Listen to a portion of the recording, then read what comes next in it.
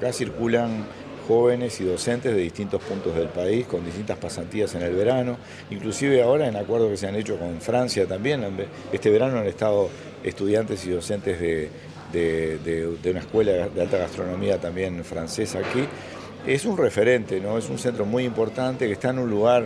de privilegio para lo que es la costa uruguaya eh, y también es, algo simbólico porque que el Estado, a través de también el periodo anterior, el gobierno departamental haber generado digamos, un acuerdo de posibilidad de instalación de un centro educativo de este tipo que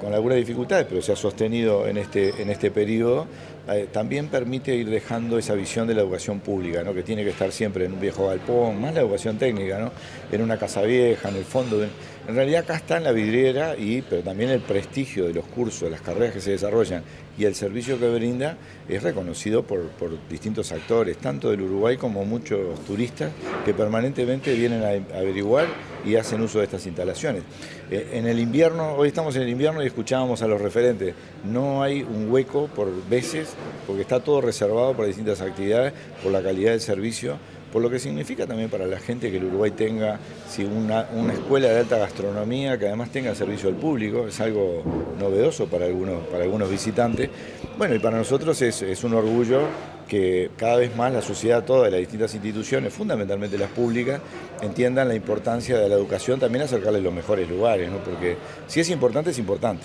Bueno, eso creo que lo tenemos que tener todo lo suficientemente claro y hacer los esfuerzos para,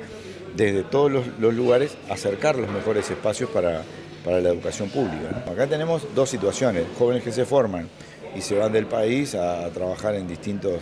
lugares o en lugares turísticos fundamentalmente, o que también se incorporan en distintos puntos del, país, emprendimientos que ya están o a este nuevo proceso en el cual están recibiendo formación intensiva, digamos, para instalarse, digamos, en sus propios emprendimientos. Y es un tema también eh, es importante. Esto nos muestra que uno recorre el interior y ve eh, centros gastronómicos con cierta caracterización. Y uno cuando va atrás y hurga un poquito, alguno de ellos seguramente pasó por algunas instancias de este tipo que le permiten con conocimiento instalarse, digamos, ya no, no solo en una formación autodidacta, como en muchos, muchos momentos se han gestado áreas de este tipo, sino ya con una formación de nivel terciario como la que se está brindando aquí.